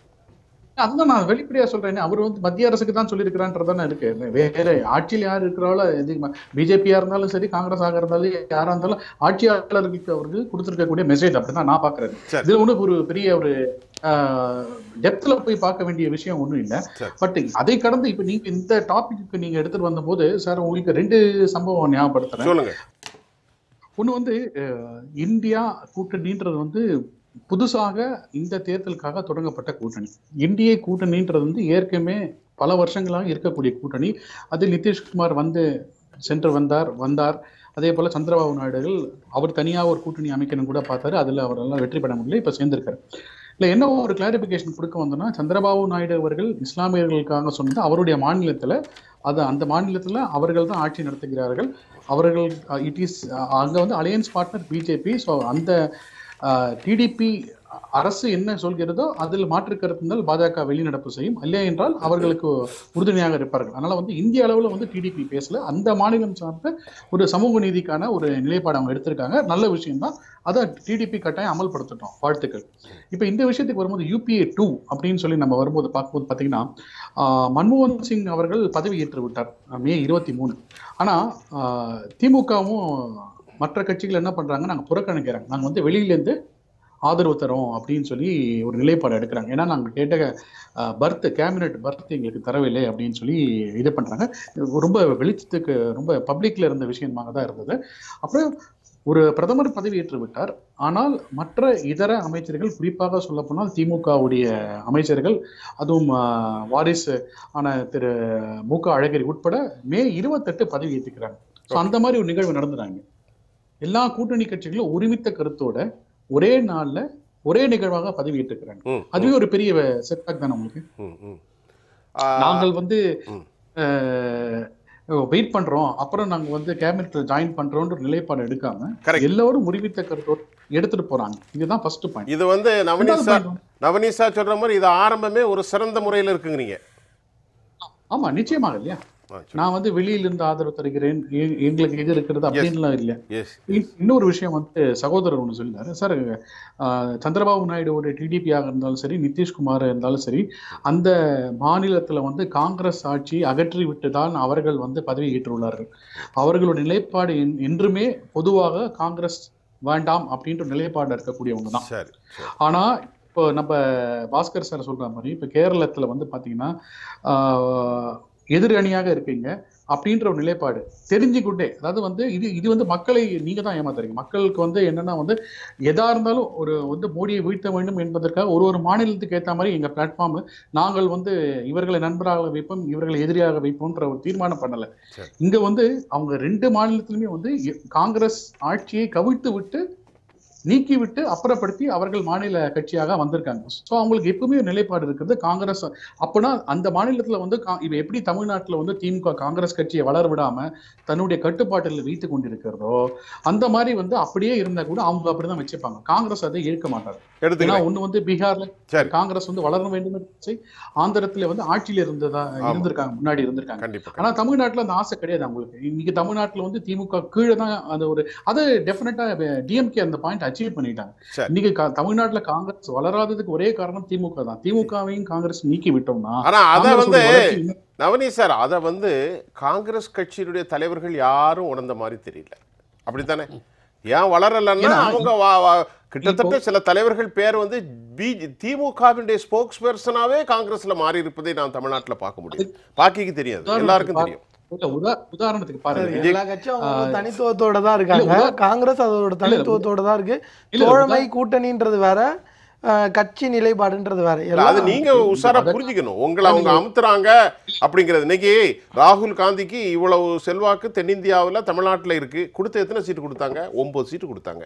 உண்மையிலே கொடுத்துருக்கணும். எத்தனை சீட்டு கொடுத்துருக்கணும்? ஒரு பதினெட்டு சீட்டு கொடுத்துருக்கணும். அதெல்லாம் தலைமை பேசுறது. ஆனா தோழமை வேற கட்சி தனி தனித்துவம் நவநீத் சார் சொல்றாரு. அதுல எந்த காம்ப்ரமைஸும் காங்கிரஸ்ல கிடையாது. நீங்க இது இத இதெல்லாம் வந்து கொஞ்சம் ஒரு எக்ஸாஜரேட்டட் வெர்ஷன் தான். காங்கிரஸ் நாங்க எங்க இதுல இருக்கோம் தோழமை கூட்டணின்றது வேற. இது என்னன்னா இந்த கூட்டணி வந்து இந்த ஆன்டி டெமோக்ராட்டிக் ஃபோர்ஸஸ் வந்து பவர்ல இருந்து எடுக்கணும் இல்ல இந்த ஆன்டி டெமோக்ராட்டிக் ஃபோர்ஸஸ் கிட்ட இருந்து நாட்டை காப்பாற்றணுன்றதுக்காக ஒற்றுமையா இருக்கும். ஆனா அதனால இந்த ஒற்றுமைக்குள்ள நீங்க ஒரு இல்யூஷனரி ஸ்டேட்மெண்ட்ஸ்லாம் வச்சு இது மாயப்பிம்பம். மாயப்பிம்பம்லாம் உருவாக்க வேண்டிய அவசியம் இல்ல. சரி. நவனி சார் நவனி சார் ஒரு நீங்க கூட்டணியும் நல்லா இருக்கு கட்சியும் நல்லா தான் இருக்கு. நவனி சார் நீங்க காங்கிரஸ நல்ல ஒரு நன்மை கருதி நீங்க பேசுறீங்க. எதிர் முகாமில் இருந்தாலும் அது அவருக்கு மாற்றமா இருக்கு சார். விடுங்க. இல்ல இல்ல இல்ல. ஒரு சின்ன பாயிண்ட் தான். இல்ல இறுதியாக சி இன்னைக்கு வந்து காங்கிரஸ் கட்சியோட தலைவர் கூட வந்து என்ன சொல்றாருன்னா காமராஜரை போல ஆட்சி இங்க இருக்கிறதுன்னு அவர் சொல்றாரு. ஆனா நாங்கள் காமராஜரை போல ஆட்சி தருவோம்னு இந்த இதுவரைக்கும் எந்த ஒரு காங்கிரஸ் தலைவர் இதுவரைக்கும் தமிழ்நாட்டுல சொல்றது ஏன்னா அவங்களுக்கு வாய்ப்பு இல்லைன்றது உங்களுக்கு தெரிஞ்சு போய்விட்டது. ஆனா இன்னைக்கு சார் நிறைய இடத்துல. சொன்னது யாரு? காமராஜ் ஆட்சி திமுக ஆட்சியும் ஸ்டாலின் ஆட்சியும் ஒண்ணா சார்? அதெல்லாம் இல்லைங்க. அது அப்படியெல்லாம் சொல்லல. நீங்க சொல்லலையா? இல்ல இல்ல. சொல்லலையா? சார். காங்கிரஸ் தெரி தெளிவா சொல்றோம். கூட்டணின்றது வேற தனி கட்சி நிலைப்பாடுன்றது வேற. காங்கிரஸ் கட்சி எங்க கட்சி நல்லா செயல்படுது. நாங்க இன்னும் நல்லா வேகமா இந்தியா நேஷனல் லெவல்லையும் சரி ஸ்டேட் லெவல்லையும் சரி நல்லா வேகமா வளர்ந்துட்டு வரும். கூட்டணி தோழமைன்றது வேற. அதே மாதிரி திமுக கூட நல்ல தோழமையில நல்ல ஒரு கருத்தியல் ரீதியா ஒரு கொள்கை ரீதியா கொள்கை ரீதியான ஒற்றுமையோட தான் இருக்கும். அதனால இது இதுல வந்து நீங்க இன்னைக்கு என்டிஏல. இல்ல என்டிஏல இருக்கிற பிரச்சனையை எடுத்துட்டு வந்துட்டு அங்க ஆல்ரெடி என்டிஏக்கும் பிஜேபிக்கும் பிஜேபியை உருவாக்குனவங்களுக்குள்ளே ஒரு இன்னர் டேர்ம் ஆயில் போகுது அதை பத்தி நீங்க பேசாம இன்னைக்கு இது அவசியமே இல்லாத இடங்கள்ல இல்ல நல்லா உங்க ஒற்றுமையா நன்மைக்கு. சொல்றேன் நவனீத் சார் நீங்க நல்லா சார், எங்க இருக்கணும் கட்சி நன்மை உங்க நாங்க கட்சி. காமராஜருடைய ஆட்சி அவருக்கு தேவையில்லைன்னு நினைக்காதீங்க இல்ல, இல்ல, நான். அவருக்கு தேவையில்லைன்னு அவர். காமராஜருடைய ஆட்சி. நான் நான் எங்க கட்சி நன்மை எ- எங்க கட்சி எங்க கட்சி தலைவர்கள் அதுல ரொம்ப உறுதியா இருக்காங்க. உறுதியா இருக்காங்க. அது அதை பத்தி தான் எல்லாருமே எப்படி இருக்காங்க சரி, பரவாயில்ல. உழைச்சிட்டு இருக்காங்க சார் நீங்க சொல்றத சொல்லிட்டீங்க அப்படி இருங்க சார். நான் வர்றேன் சார். நீங்க சொல்றத சொல்லிட்டீங்க. நவனீத் சார். பாக்கி சார் ஏதோ சொல்ல வராங்க. ஒரே ஒரு கருத்து தம்பி சொல்றாரு. விஜய் சந்தோஷம். ஒரு காங்கிரஸ் தனித்து இயங்கினால் அதை விட சந்தோஷப்படுகிற என்னை விட யாரும் இருக்க மாட்டாங்க. ஆனால் அப்படி இருக்கிறதா என்ற கேள்விதான் இருக்கு. இந்த டாபிக் டிவேட் ஆயிட்டே இருக்குங்க சார். இல்ல, என்டிஏ த்ரீ பாயிண்ட் இருந்து எதுக்கு நான் இப்போ காரணத்தை. என் தம்பி பேசும்போது முஸ்லீம் ஒதுக்கீட்டு வந்து டிடிபியில் சொல்றாங்க தெலுங்கு தேசம் சொல்றாங்க. இந்த மாதிரி கொள்கை முரண்னு அவர் சுட்டி காட்டினாரு. ஆளுநர் ஒழிப்பு திமுகவினோட கொள்கை. காங்கிரஸோட கொள்கை என்ன? சிஏஏ ஒழிப்பு திமுகவின் கொள்கை. காங்கிரஸோட கொள்கை தேர்தல் அறிக்கையிலே இல்லை. முந்நூற்றி எழுபது காங்கிரஸினுடைய கொள்கை என்ன? மாநில அந்தஸ்துங்கிறது வேற. That is going to happen in September because of the Supreme Court verdict. ஆக இந்த மாதிரி முரண்பாடுகள் உங்களுக்கு இல்லையா? உங்களுக்கு கூட்டணியில் இல்லையா? அது மாதிரி தெலுங்கு தேசத்துக்கு பிஜேபிக்கு சில கொள்கையில் இருக்கும். வேறுபாடுகள் முரண்பாடுகள் இப்ப மாறுபட்ட கொள்கைவாதிகள் தான் இணைஞ்சிருக்காங்க. நத்திங்கிறாங்க அதோட இயந்து செயல்படுகிற திறன் பிஜேபிக்கு தான் உண்டு. பிஜேபி தான் அதை வகுத்து காமிச்சது பாக்கிட்ட இப்ப என்ன கேள்வினா கொஞ்சம் ஞான புத்தியும் நிதான போக்கும் மிகுந்த எக்ஸ்பீரியன்ஸும் ஒரு கல்வியாளராக நான் திரு நாயுடுவை பார்க்கின்றேன். அவருடைய அதிகமாக அலட்டிக்க மாட்டார். ஆனால் ஒரு பொறுமையான தலைவர். இந்த விவகாரத்தை அவர் கையாளுவதில் மற்ற தலைவர்களை போன்று இல்லாமல் ஒரு நிதான போக்கை இந்த த்ரீ ஜீரோவில் கையாளுவார்னு நீங்கள் நம்புறீங்களா? சிறப்பு அந்தஸ்து தானே? பொதுவாக நான் எந்த நான் எதையும் மென்ஷன் பண்ணல. சரி. நாயுடு தனது கூட்டணியை பிஜேபியோடு மோடியோடு Modi three point zero three point ஜீரோடு திறமையாக கையாள்வார். தன்னுடைய மாநிலத்துக்கு தேவை ஏன் மாநிலத்தில் அவரோட ஆட்சி வந்துடுச்சு? தன்னுடைய மாநிலத்துக்கு என்னென்ன தேவை என்பதை வாதாடியோ போராடியோ பெற தேவையில்லை. கேட்டாலே கொடுக்கக்கூடிய நிலையில பிஜேபி அரசாங்கம் மோடி அரசாங்கம் இருக்கிறது என்பதனால பிரச்சனையே இல்லை. கேட்டா கொடுத்துருவாங்க. அந்த மாதிரி நிலையில தான் இருக்கு. அது அவர்களுக்கு சாதகம். இதே போன்ற ஒரு நிலைமை கலைஞர் கருணாநிதிக்கும் வாஜ்பாய் அரசாங்கத்துக்கும் இருந்தது. அதே நிலைமை இப்போது நாயுடுக்கும் தெலுங்கு தேசம் கட்சி அரசாங்கத்துக்கும் மத்தியில் உள்ள மோடி த்ரீ பாயிண்ட் ஜீரோக்கும் வரும். அவ்வளவுதான். சிம்பிள் இதே தான் பீகாருக்கும் பொருந்தும்னு நான் நினைக்கிறேன். ஆனால் கவனமாக கொண்டு போவாங்க டாக்டர் சுப்பிரமணிய சாமி சில கருத்தை சொல்கிறார் ஆனால் யார் யார்கிட்ட கேட்டாலும் எல்லாரும் என்ன சொல்லிடுறாங்க தெரியும்? சுப்பிரமணிய சாமி கருத்தை பேசாதீங்க விட்டுருங்க அப்படின்னு சொல்கிறாங்க நான் அப்படி பார்க்க முடியாது. அவர் என்ன சொல்கிறாரு நான் வந்து ஆர்எஸ்எஸ்ஐ சார்ந்தவன் அல்லது பிஜேபியுடைய உறுப்பினர். ஹிந்துத்துவா தான் நம்மளை இந்த அளவுக்கு சிறப்பாக கொண்டு வந்தது. ஆனால் ஹிந்துத்துவாவை பேச முடியாமல் அடிப்படை திட்டங்களை கொண்டு வராமல் என்ன ஆட்சி? மார்ச்சுக்கு அப்புறம் உங்கள் ஆட்சி இருக்காது. அப்படிங்கிற the open statement has been made by mister Subramania Swamy E disclosed from the media அவருக்கு எந்த அளவுக்கு மக்கள் ஆதரவு இருக்கு? இல்ல மக்கள் ஆதரவு இல்லை. அவர் ஒரு இன்டலெக்சுவல் தானே? இன்டெலெக்சுவல் அவர் சொன்னதை உடனே எடுக்க முடியாதா? பாலைவனத்தில் பெய்கிற மழையினால் பயன் இல்லை பயிர் விளையாது. அவ்வளவுதான். இல்ல ஒரு அவர் ஒரு கருத்து கணிப்பை வெளியிடறனால பாலைவனமா இருக்கட்டும் அவர். பாலைவனத்தில் பெய்கிற மழையால் பயிர் விளையாது. அவர் ஒரு இன்டெலெக்சுவல் சார் நவனி சார் என்ன சார்? சொல்லுங்க சார். ஏதோ சொல்ல வந்தீங்க. நீங்க சுப்பிரமணிய சாமியோட கருத்து கேக்குறீங்கன்னா அந்த பக்கம் மணிசங்கர் ஐயர் கருத்தையும் கேளுங்க காங்கிரஸ்ல. அவர் சொன்னாரு பாகிஸ்தான் பத்தி கருத்து சொல்லியிருக்காரு. அதனால ரெண்டு இரண்டு பேர் கருத்துமே வந்து அந்தந்த கட்சிகள் இருக்கவில்லை அதனால நம்ம அதை கடந்து போவோன்றது தான் என்னுடைய பார்வை. நவனி சார் இப்போ ஆர்எஸ்எஸ் வந்து ஒரு இப்போ உங்க உங்களுடைய தலைமை கேட்டு நான் ஐயா கிருஷ்ணமூர்த்திட்ட போறேன். இப்போ யாரெல்லாம் பிஜேபியினுடைய தேசிய தலைவராக இருப்போம்னு நினைத்தோமோ அவர்களெல்லாம் அந்த போர்ட்போலியோக்குள்ளே வந்துட்டாங்க. உதாரணத்துக்கு மனோகர் லால் கட்டார் சொல்லலாம். அதே சமயம் நிதின் கட்காரி சொல்லலாம். இப்படி பல பேர் உள்ள இருக்கிறாங்க. ஆர்எஸ்எஸ் வந்து சில ஆட்களை தேர்வு செய்திருக்கிறதாக வினோத் தாவ்டே அனுராக் தாக்கூர் அவர் ஒரு கடும் போக்குவாதி.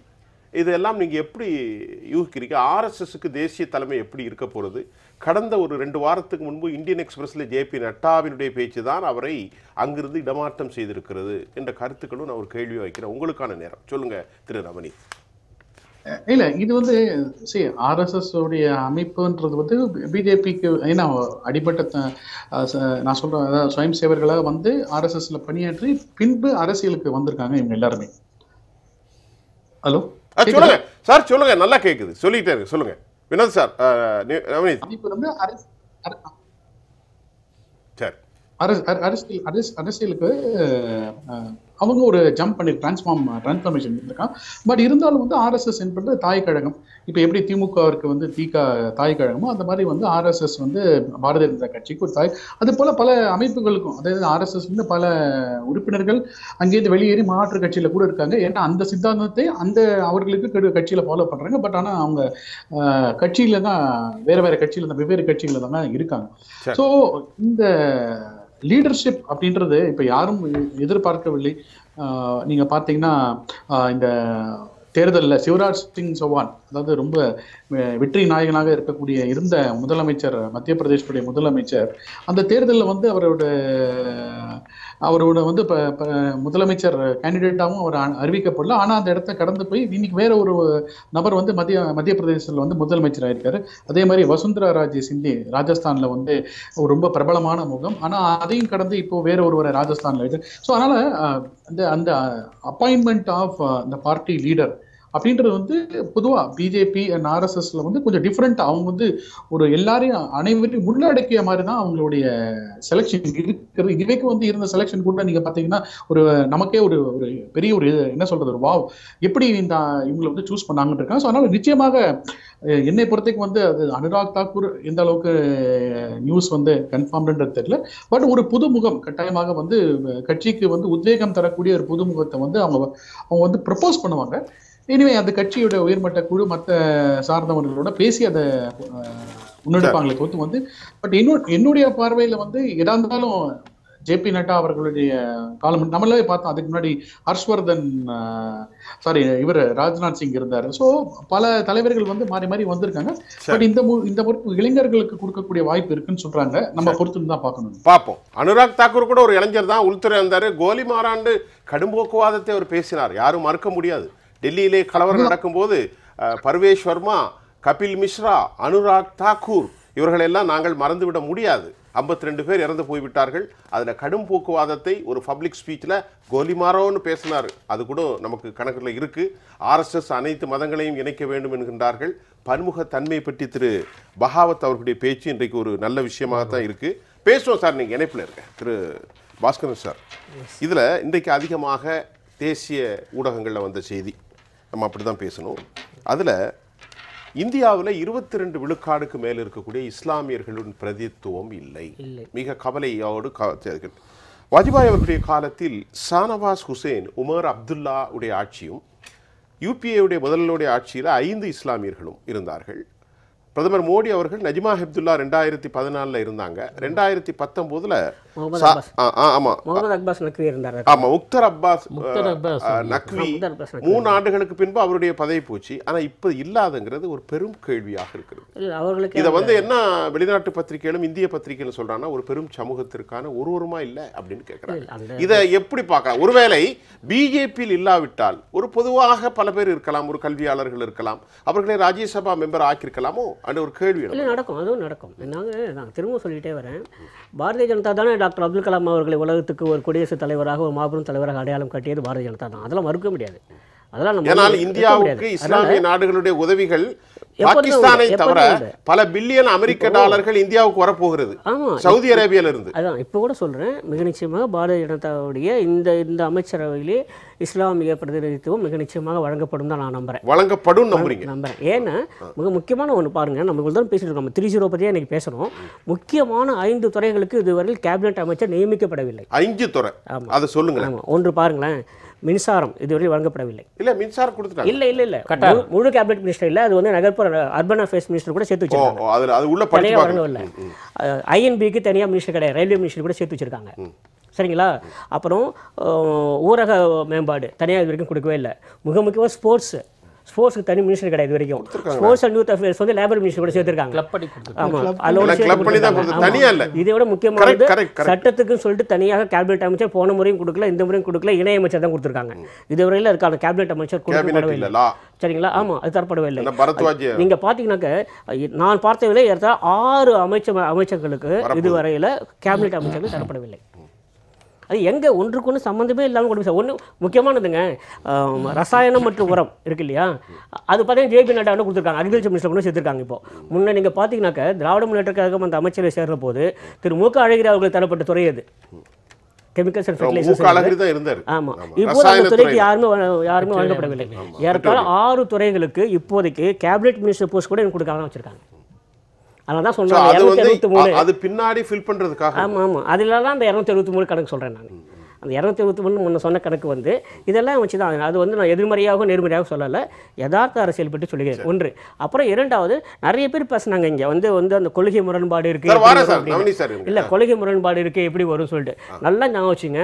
தமிழக அரசியல் தேசிய அரசியல் உலக அரசியல் எல்லாமே எடுத்து பார்த்தீங்கன்னாங்க இருக்குதா? இன்றைய அரசியல்ல கொள்கை என்று ஒன்று எதுவும் இல்லை அப்படிங்கிறதான் அன்டில்யூட்டட் ஃபார்ம் ஆஃப் லெஃப்ட் லெஃப்டிஸ்டோ அன்டில்யூட்டட் ஃபார்ம் ஆஃப் ரைட்டிஸ்டோ இருக்கவே முடியாது. இல்ல இல்ல. நீங்கள் பார்த்தீங்கன்னாக்க ஒரே ஒரு உதாரணத்தை மட்டும் சொல்லிட்டு போயிடுறேன். ஒரு ஆறு ஏழு ஆண்டுகளுக்கு முன்பாக கியூபா நாடு திவால் ஆச்சு பொருளாதார திவால் நிலைமை எதிர்கொண்ட போது அதற்கு உதவியது அமெரிக்கா. அமெரிக்கா தானாக உதவலை நீங்க எப்போ சொல்லுங்க நீங்க பெடல் காஸ்ட்ரோவுடைய மரணத்துக்கு அப்புறம். இல்லை அவர் இருந்த போதே நடந்தது. இருக்கு இருக்கு இருக்கும் இருந்த போதே நடந்தது. மரணத்துக்கு இல்லை இல்லை இல்லை அவர் உயிருடன் இருந்த போதே நிகழ்ந்தது அப்புறம் அமெரிக்க உதவியை நாடினார்கள். தப்பு இல்ல அமெரிக்கா உதவியது. Thanks to Barack Obama. சரிங்களா? அப்போ கியூபாங்கிறது அப்போ அந்த அந்த கொள்கையிலிருந்து மாறுபட்டுச்சானா இல்லை. நாட்டு மக்களுக்கு செய்கிற உதவி என்பது வேறு கொள்கைங்கிறது வேறு. பொதுவுடைமை தனியாகத்தான் இருந்தது. அதனால் கியூபா வந்து அவங்களோட கொள்கையிலிருந்து மாறிச்சுன்னா இல்லை. அமெரிக்க எதிர்ப்பிலிருந்து மாறவில்லை இடதுசாரி தத்துவத்திலிருந்து வந்து பிறந்து செல்லவில்லை. ஆனாலும் அவர்களுடைய பொருளாதாரத்தை தூக்கி நிறுத்துவதற்கு உதவிக்கரம் நீட்டியது அமெரிக்கா தான். இன்னைக்கு இருக்கு சரிங்களா? அதனால் இந்த இந்த கொள்கைங்கிறதோ அப்புறம் இந்த ஐடியாலஜிக்கல் டிஃப்ரென்சஸ் அப்படிங்கிறதோ அது தனி. அதுவும் இந்திய அரசியலில் அதுக்கெல்லாம் ஒரு பெரிய முக்கியத்துவம் தரப்படும் சரி இப்ப பாஸ்கர் சார்ட்ட கேட்கறது எதனாலும் நன்மைகள் சாஃப்டா இருக்குன்னு இல்லை. மற்றொரு பக்கம் கரடு முரடுகள் வரத்தான் செய்யும். சிபிஐ பிரச்சனைகள் national investigation agency enforcement director directorate IT information அதாவது இன்கம் டேக்ஸ் இதெல்லாம் ரைடெல்லாம் இருக்கு இல்லையா? இந்த பிரச்சனைகள் தான் கடந்த ஆட்சியில் வைக்கப்பட்டது. ஹார்ட்கோர் ஹிந்துத்துவா கடும் போக்குவாத பேச்சுக்கள் hatred dislike discuss the statement which has been revealed by the prime minister Modi how do you differ from this இந்த முறை அப்படி இருக்காது அப்படின்னு சொல்லி இந்த முறை அதை விட இந்த மாதிரி எப்படி நினைக்கிறீங்க? நான் எதிர்பார்க்கறது ஒரு பொருளாதார மேம்பாட்டுக்கு தான் அதிக முக்கியத்துவம் தரப்படும் அப்படின்னு பார்க்குறேன். அரசியல் பின்னுக்கு தள்ளப்படும் அப்படின்னு நான் பார்க்குறேன். நான் பார்க்குற வரையில் இப்போதைக்கு கடந்த இரண்டு மூன்று நாட்களாக நடைபெற சம்பவங்களை வைத்து பார்க்கிற போது அநேகமாக அது பின்னுக்கு தள்ளப்படும் அப்படின்னு தான் பார்க்குறேன். அநேகமாக அது பின்னுக்கு தள்ளப்படும். ஆமாம் அரசியல் கொண்டு ஆமாம் அரசியல் பின்னுக்கு தள்ளப்பட்டு அரசியல் நடைமுறைகள் முன்னுக்கு வரும் அப்படின்னு நான் எதிர்பார்க்குறேன். அதுதான் மேலே வரும் அப்படின்னு நான் எதிர்பார்க்குறேன். என்னுடைய நம்பிக்கை இது ஒரு தான். கூட்டாட்சி தத்துவத்துல அப்படிதான் கொண்டு போகும். ஏன்னா ஏன்னா ஆல் சிலிண்டர் நீங்கள் பார்த்தீங்கன்னாக்க அரசாங்கத்தினுடைய பெர்ஃபார்மன்ஸ் இருக்கு இல்லையா? This is what matters ultimately when you go to the people after five years what matters is your performance. Exact சரிங்களா? உங்களை ப்ராக்ரஸ் கார்டு கொடுக்கணும். இப்போ முக்கியமாக இந்த த்ரீ ஜூனில் பற்றி போகும்போது இன்னும் ஒரு முக்கியமான ஒரு விஷயத்தை மறந்து போயிட்டோம். சந்திரபாபு நாயுடுவில் ஆந்திராவில் இப்போது தான் சட்டமன்ற தேர்தல் நடந்து கொண்டிருக்கிறது. இன்னும் ஃபுல் ஃபைவ் இயர்ஸ் இருக்கு அவருக்கு. இப்போதே இந்த மத்திய அரசாங்கம் நடைமுறை வந்திருக்கிறது. அது ஃபுல் ஃபைவ் இயர்ஸ் இருக்குது அதனால் சந்திரபாபு நாயுடு இப்போதைக்கு ஒரு மிகப்பெரிய ஒரு அரசியல் நிலைப்பாடு இருக்க வேண்டிய கட்டாயத்தில் அவர் இல்லை. அதைத்தான் நான் சொல்றேன். இல்லை. டிசென்ட்டாகவோ தடாலடி முடிவோ அவர் எடுக்க மாட்டார். கேள்வி மாட்டாரு. நிதானமாக அவர் அரசாங்கத்தை நடத்துவார். ஆமாம் மத்தியில ஒரு அன்சர்டினிட்டி அவர் அலோவ் பண்ண மாட்டார். இல்லை இல்லை. அதே அப்படிதானே சார்? மாதிரி அதேதான். அதே மாதிரி கோடிட்டு போகிறேன் இது வந்து என்னுடைய தனிப்பட்ட கருத்தாக எடுத்துக்கோங்க. எந்த அவருடைய வரல. எந்த ஊடகத்திலும் வரல. என்ற தனிப்பட்ட கருத்தாக சொல்கிறேன். திரு நிதிஷ்குமார் அவர்களுக்கு மிக மிக மிக பெரிய பொறுப்பு வழங்கப்படும். இன்னும் இரண்டு ஆண்டுகளில். இன்னும். ஆமாம் அதுதான் ஒரு கேம் சேஞ்சராக இருக்கும். இவர்களுக்கு சாதகமாக. மிக மிக மிக பெரிய பொறுப்பு. ஆமாம் வழங்கப்படும் நான் எதிர்பார்க்குறேன். அது என்டிஏ அரசுக்கு மிகவும் சாதகமாக அமையும். அப்படியே ரப்பர் மாதிரி ஒட்டிக்குவார். அதை விட்டு போக மாட்டார். எனக்கு தெரியாது. நான் அதுக்குள்ளெல்லாம் போக. ஏன்னா தனிப்பட்ட ஒரு தனிப்பட்ட கருத்தாக சொல்கிறேன் அதனால அதுக்கு மேலே ஒரு முக்கியத்துவம் தரப்பட கிடையாது இப்போ அவங்க சொல்ற கருத்தெல்லாம் பார்க்கும்போது உங்கள் ஆசை நிறைவேறாது. ஐந்து ஆண்டுகளில் அமைதிக்காரர்கள்.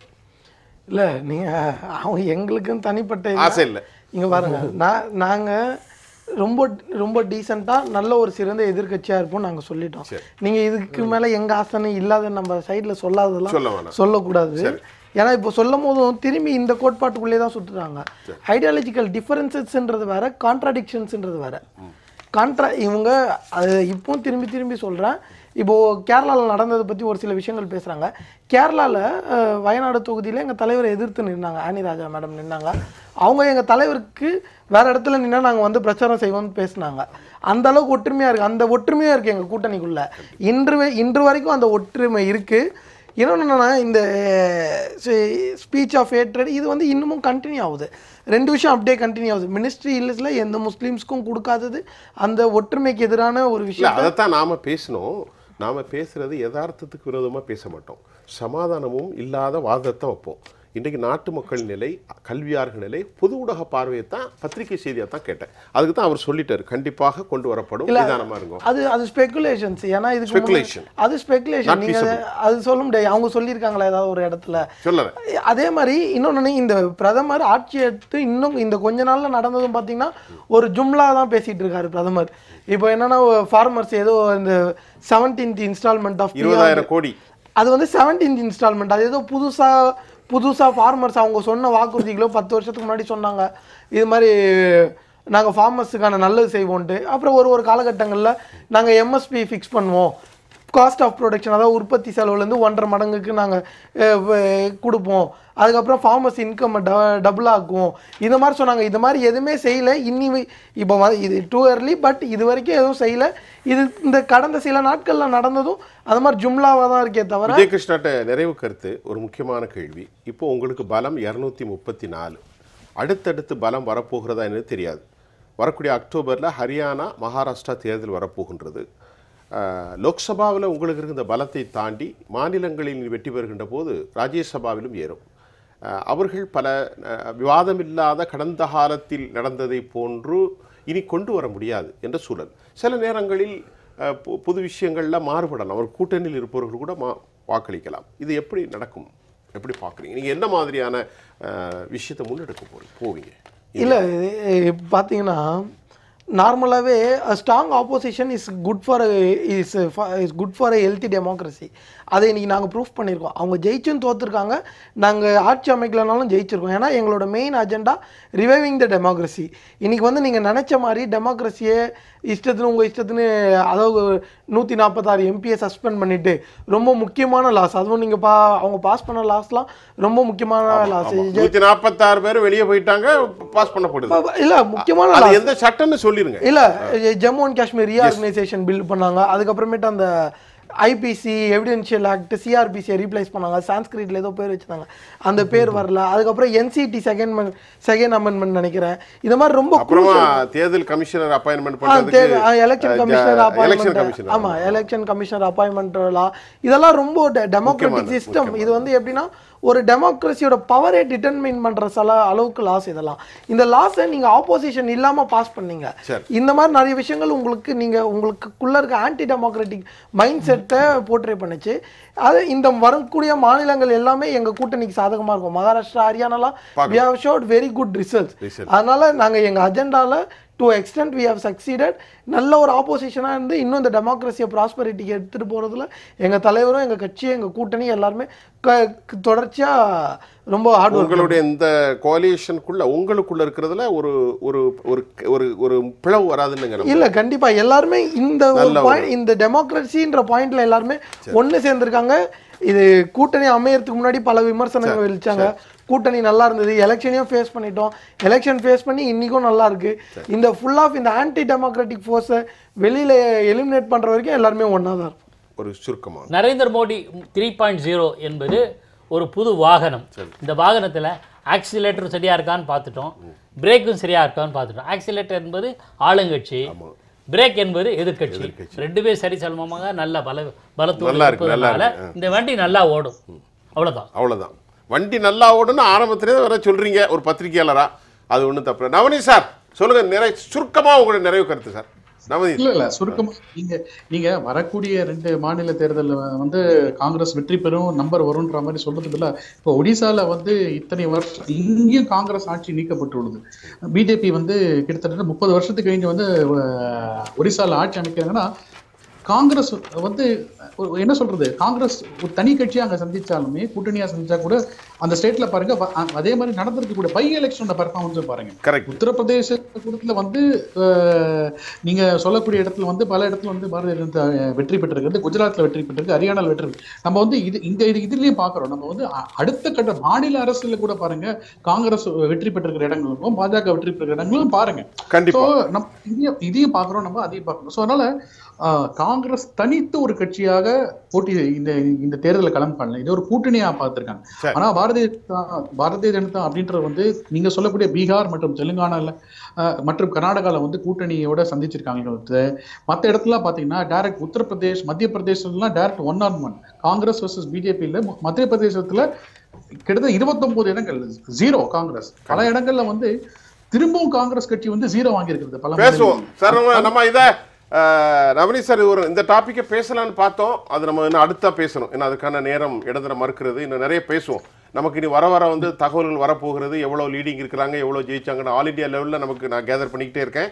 அடுத்தடுத்து நம்ம பேசுவோம். இந்த அமர்வில் ரொம்ப சிறப்பாக பேசின திரு பாக்கி காங்கிரஸ் கட்சியினுடைய செய்தி தொடர்பாளர் விஜயகிருஷ்ணா நவநீத் திரு பாஸ்கரன் கிருஷ்ணமூர்த்தி ஐயா உங்கள் அனைவருக்கும் நான் உளப்பூர்வமாக நன்றி தெரிவித்துக் கொள்கிறேன்.